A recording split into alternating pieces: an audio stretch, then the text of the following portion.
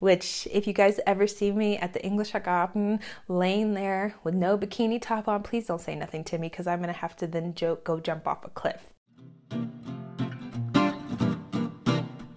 Hi everyone, what is up? My name is Hayley. Welcome to my YouTube channel. If you did not know, now you do.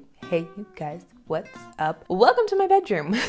I've been kicked out of the living room, you guys. Mike is playing his Xbox. It's his new joy, his new Schatzi, and I've just been put on the back burner. So here we are in the bedroom. I don't know how I feel about this, letting you guys see me on the bed, but hey, welcome. We're family now. But yeah, in today's video, y'all, I'm gonna be talking about things you can do in Germany that you can't do in the United States. Some of these points I've gone over very briefly in past videos, but I wanted to make a little bit more in-depth video regarding these topics. Regarding the laws and regulations and rules around these things, I would greatly appreciate it if you guys could help me with some of them because there was a lot of gray area for a lot of these things. I couldn't find a very definitive yes or no or what was right and what was wrong or what was allowed and what was not allowed. So if you know more than me, please let me know in the comment section. But yeah, if you like this video, don't forget to give it a thumbs up, subscribe, and follow me on Instagram. It is the holiday season, you guys, and it's free and it's doing something kind, and Santa's watching you to see if you're kind. And if you're not kind, you're gonna get coal for Christmas. So,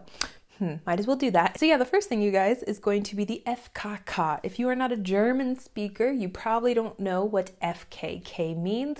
I'm going to try my best to say it in German, but I don't know if it's right or not, and I'm pretty sure it's Freie Körperkultur, which means free body culture which basically means the nudity community. I feel like this video is going to get demonetized, so I'm debating if I should say the N word or not. Imagine Hayley coming over to Europe. I will not even just say Germany, I will say Europe in 2015, not really knowing anything but what I've been taught in the United States, which body, human anatomy, and all that good stuff is a very taboo or vulgar topic, especially when it comes to the nudity aspect of it. Coming over to Germany and spending my first summer here and seeing people without any clothing on was shocking to me. And I was literally, you guys, probably wanting to hide underneath a rock because I could not imagine that people were so open and free and comfortable with just letting it all hang out. I mean, many years have fast forwarded, have fast forward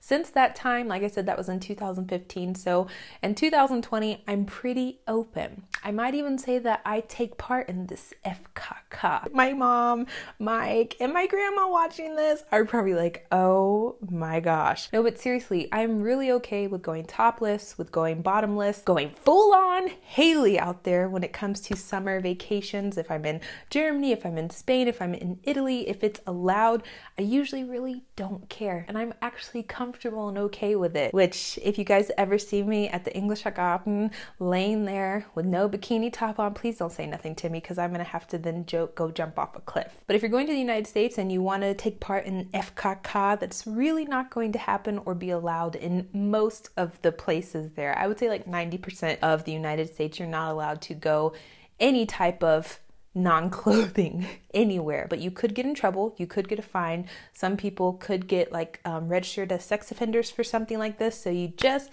have to be careful. The next points are going to be about drinking, selfing. So if you don't want these points, you might as well click away because I'm going to be talking about drinking a little bit. The first one is going to be being able to buy affordable, cheap wine. In the United States, I will not trust you if you tell me that you can buy affordable wine for two to five dollars. I will know that your taste buds are whack, you have no sense of taste, you don't enjoy the finer things in life, and you enjoy the taste of Robitussin medicine because that's the only thing that comes from two to five dollar bottles of wine. Europe is the wine capital of the world, you guys. You have Italy, you have Portugal, you have France, you have Spain, you have Germany all like at your footstep, which means you have relatively high quality, affordable wine. That kind of stuff is not happening in the United States. The closest thing you have is California.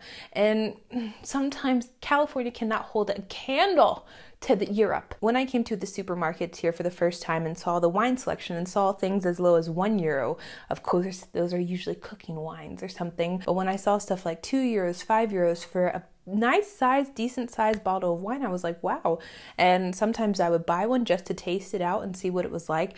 And it was relatively tasty. It didn't taste like a rotten cotton ball. And in Germany, I can seriously buy something may not be the best tasting or a Michelin Michelin Sterne restaurant wine, but it's good you can drink it. Man kann das machen, you know. Schmeckt lecker. The next one is going to be drinking on the street, which is something that I need a little bit of help with regarding this because I've talked about it before, but I really don't know the laws behind it. And I'm mostly speaking about Bayern because that's where I've seen all this stuff happening. But usually you can drink on the street publicly with no repercussions. I have gone out on the S-Bahn, on the streets, on the way to certain events, and I've always seen other people drinking. The cops are usually, you know, standing around if it's a big event, if it's a big, you know, influx of people traveling from one place to another because usually when you go to Fußballspiele, I've been to a few FC Bayern games and on the way a lot of people are drinking. And the cops usually don't say anything to you. It's just if you're too rowdy, if you're too rough, if you're, you know, cursing, if you're being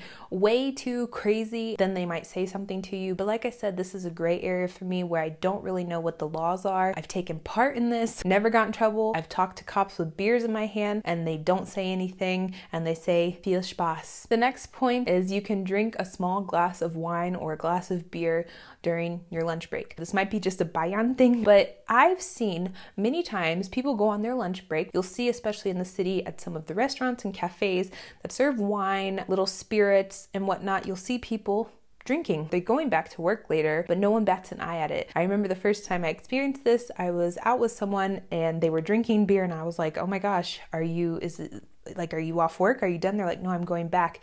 I'm like, you're allowed to drink? Or maybe it's just normal lies in the society that I live in in on that beer is like an integral part of people's life and it's considered a food and not an actual alcoholic beverage. So maybe that has something to do with it. But like I said, it's just something that you cannot do in the United States. I've had multiple jobs where I have to like unterschreibe, I have to sign a contract or my work contract that basically says I'm not allowed to drink from the hours that I'm working, which includes my lunch break. It's like a loophole, sort of, because you're not technically working, but you're not allowed to consume alcohol while you're on the job or when you're on the job, or in any way, consumption of alcohol is not allowed when you're working. So, yeah, something different that you could probably do in Germany that maybe okay in the United States, but is not as common. The next point is going to be that you can basically take a train anywhere in Germany or all over Europe. And I'm talking about major cities here because comparing public transportation is really unfair. I've, I think I've said this in videos before,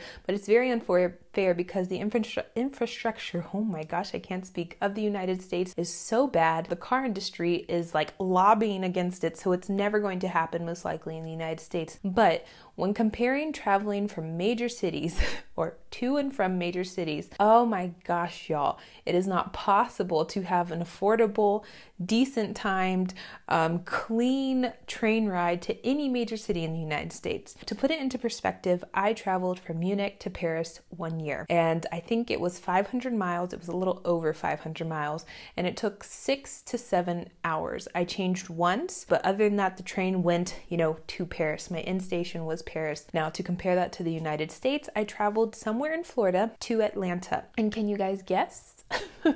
how long it took. It was the same distance from Munich to Paris, so you would think it would be six to seven hours. No, it took a whopping 12 hours, and I had to change three times, and I had to take a Greyhound bus to deliver me to the next station because there was no connection to the train stations that they were I guess, driving to. Made no sense, you guys. And I had to walk, I think it was like one to two miles in between all of this stuff. When I tell you it was the most confusing and difficult thing I've ever done in my life, and it costs four times the amount of money that I would pay in Germany in Europe to travel from one major city to the next, ugh, it's not possible. It's a lot cheaper and more affordable to A, drive your own car, get an Uber probably, fly, rent a car, or anything like that. So, yeah, I find it to be very sad because I actually like traveling in trains, especially in Europe, I guess, because we have such beautiful scenery, but we have that in the United States as well. But you can't really see it in a train, you know, paying attention,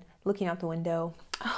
I love it so much. The next and final point, you guys, which is also a point that I need a little bit of help with because, like I said, this was a very gray area. There were a lot of numbers and information spit out, but nothing really definite. In Germany, you're most likely going to be able to go grocery shopping without completely buying GMO GMOs, GMO foods. Is that would that be considered GE foods? Genetically modified or genetically engineered foods. When looking at the United States, I looked at the Center for Food Safety for the information and the numbers and the percentages that I got. I think they said there was a study or an estimate of 75% of all food in retail shops or like grocery shops in the United States is made out of GMOs or genetically engineered items. A lot of countries in Europe, I'm not specifically talking about Germany, ban GMOs altogether. Germany, there are some exceptions, but they follow the EU trade restrictions or laws and regulations, and they are very strict when comparing it to the United States standards. When I read about, you know, why they didn't want them and what the hazard would be, it was not public health. It wasn't, you know, human health or anything like that. It was about the detrimental adverse effects that it has on the environment. And that I found to be very interesting that that was the reason that they tried to ban or try to get rid of or not produce GMOs in such huge amounts. That's all of the information that I found regarding it, you guys. I know there's a bunch. I read so many articles, I read so many scholarly journal excerpts and something and all that good stuff, but it was very information overload for my brain. I think that's it though. I think I've talked a lot, you guys. I don't think I have anything else to say though because it's been very long. So, yeah, thank you for watching. If you know anything else that's allowed in Germany that's not allowed in the United States, that's not so stereotypical, you guys, you can let me know in the comment section other than that, thank you so much for watching. Happy holiday season. I love you guys, and bye bye.